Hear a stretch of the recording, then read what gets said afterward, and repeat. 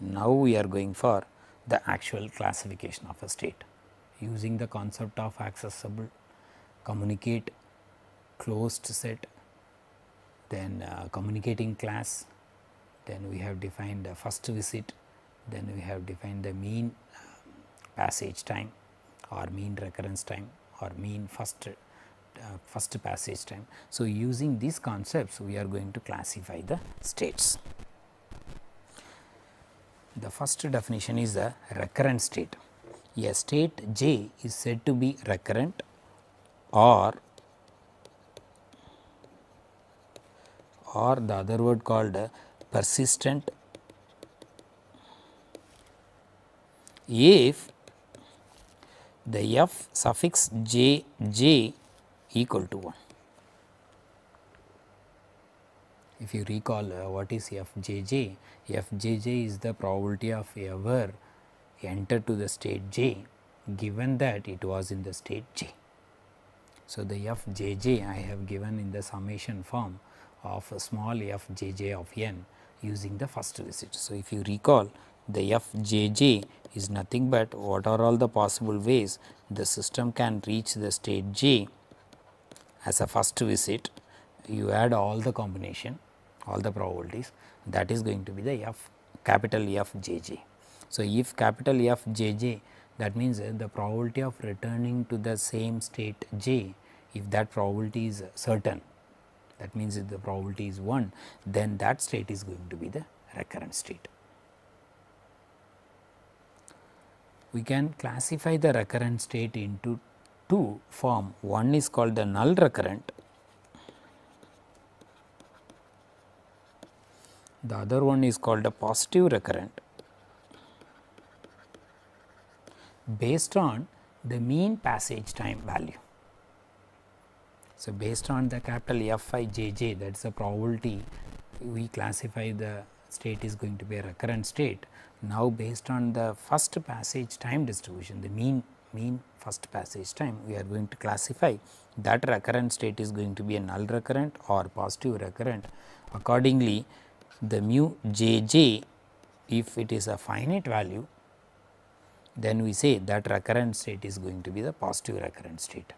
If mu suffix j j is going to be a infinite value that means on average the first passage time is going to be infinite then that corresponding recurrent state is going to be called it as a null recurrent state. So, whenever any state is going to be called it as a recurrent state, if the probability of ever entering into the state j starting from the state j it is certain or the probability is 1 then that is a recurrent state and the recurrent state is going to be called as a null recurrent if the mean first passage time or mean recurrence time or mean return time is infinity. If that is going to be a finite quantity then the recurrent state is going to call it as a positive recurrent state. If any state is going to be a positive recurrent as well as aperiodic then that state is going to be called as a ergodic state. Any state is going to be called as a ergodic whenever that state is a positive recurrent as well as aperiodic. Aperiodic means uh, the periodicity of that uh, recurrent state is 1. That means uh, the greatest common divisor of all possible steps in which the system coming to the same state that value is, is 1. If the period is 1 and as well as the positive recurrent, it should be recurrent as well as positive recurrent that means the mean recurrence time is going to be a finite quantity then it is going to be called it as a ergodic state. In a Markov chain if all the states are going to be a ergodic one that means all the states are going to be a positive recurrent as well as aperiodic then we call that Markov chain itself a ergodic Markov chain. That means there is a possibility the Markov chain may be a irreducible that means you will end up with only one class in which uh, all the all the states are going to be form a one close communicating class. Suppose uh, each one state is going to be a positive recurrent and aperiodic then all other states are also going to be of the same type and the same period therefore, all the states are going to be the ergodic states then that Markov chain is going to be called it as a ergodic Markov chain. Now, I am going to classify the state as a transient state whenever the f j j value is less than 1. If you recall we have considered only two cases whether the f j j is less than 1 or f j j is equal to 1. Equal to 1 land up recurrent state and f j j is less than 1 that gives the transient state. That means, the probability of returning to the state j starting from the state j is not certain. That means, uh, 1 minus of this probability with that much probability the system may not uh, return to the same state j if the system start from the state j. That means, with some positive probability because 1 minus this this value is less than 1 therefore, 1 minus of f j j is going to be greater than 0. So, with some positive probability the system may not return to the same state if it start from the state j then that corresponding state is going to be call it as a transient state. By seeing the one step transition probability matrix or by seeing the state transition diagram of a discrete time Markov chain, you can easily come to the conclusion the state is going to be a recurrent state or a transient state. Whenever it is going to be a finite number of states, it is easy to come to the conclusion. If it is a infinite number of states, then we need some work to be needed to to come to the conclusion whether it is a positive recurrent or null recurrent. So, but easily you can make out the given state is going to be a transient state that you can make out from the state transition diagram or one step transition probability matrix.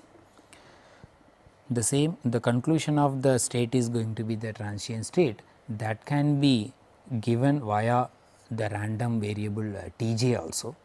So, the state j is a transient if and only if the probability of the t suffix j is equal to infinity and that probability is 0. Sorry, made a mistake.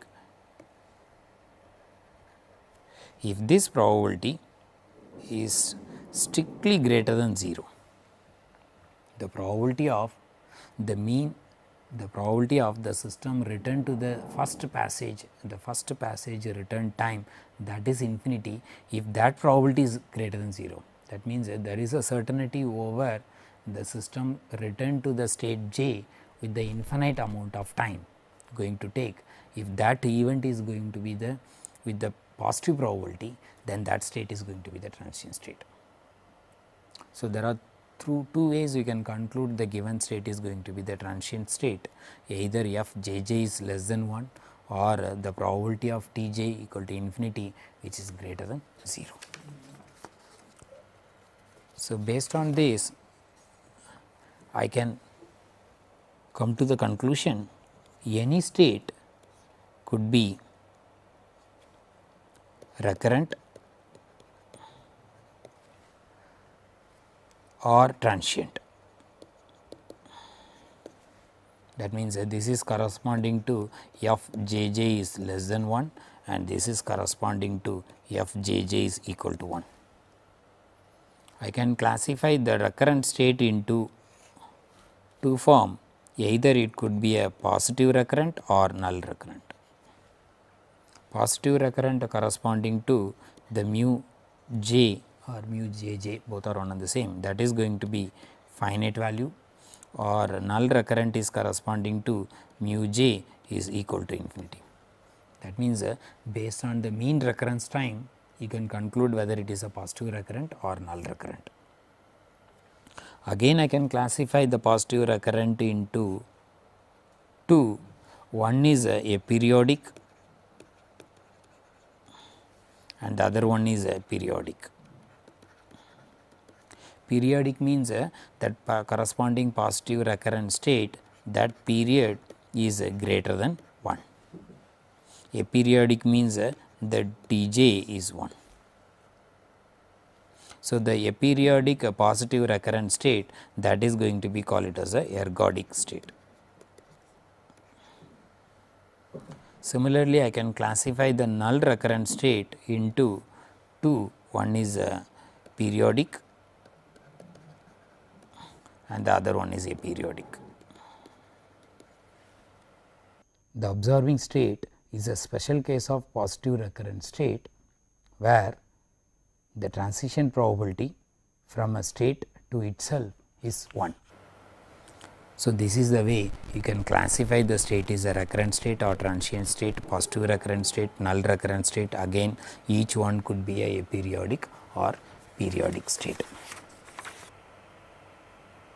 So, in this lecture we started with the few concepts of uh, accessible, then communicate, then uh, closed set, then we have discussed um, communicating class, then we have discussed what is the meaning of first visit, then we have given the first passage time, then we have given the mean first passage time distribution or mean recurrence time distribution. So, based on those concepts we have classified the state as a recurrent state or transient state. So, this is related to the probability whereas the conclusion of the positive recurrent or null recurrent is related to the average time. So, here it is one only it involves the probability that whether in a certain probability the system will come to the same state with the probability 1. Whereas, here there is uncertainty the system may not come to the state j if the system start from the state j. If there is a uncertainty of returning that means with some positive probability the system will not be back then that state is going to be called as a transient state. So, this you can easily visualize in the state transition diagram of any discrete time Markov chain. You can see it whether the from by seeing the state transition diagram you can come to the conclusion whether the state is going to be the transient or recurrent. But through these diagrams you cannot come to the conclusion whether it is going to be a positive recurrent or null recurrent unless otherwise you evaluate this quantity mu j is going to be n times E of j j of n.